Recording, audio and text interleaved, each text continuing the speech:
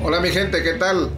Eh, en esta oportunidad les traigo lo que es la fórmula para calcular el peso de los tubos.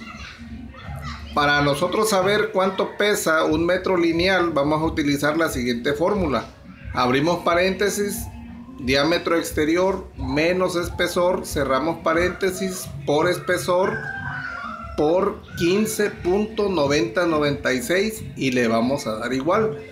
Vamos a hacer lo que es un ejemplo utilizando el tubo de 14 pulgadas de diámetro cédula 80 donde tenemos un espesor de 3 cuartos es decir punto 750 bueno aplicamos valores a nuestra fórmula y va a quedar así.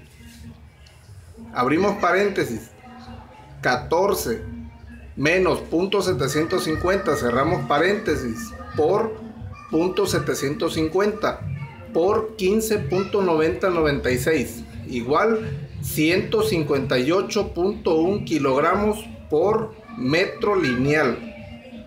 Bueno, quiero comentarles que pues estas especificaciones van de acuerdo a ciertas normas. Hay varias. Yo les voy a mencionar dos ahorita. Ahí ustedes la pueden ver.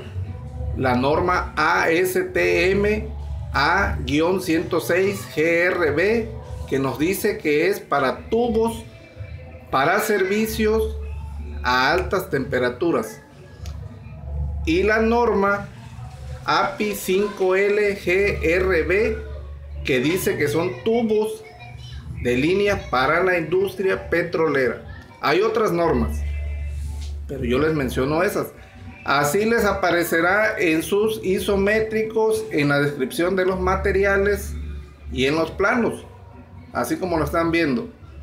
Espero que les pueda servir esta información y pues ahí estamos, buscándole gracias a Dios y continuamos. Hay muchas informaciones más, espero que les pueda servir. Gracias, saludos para todos.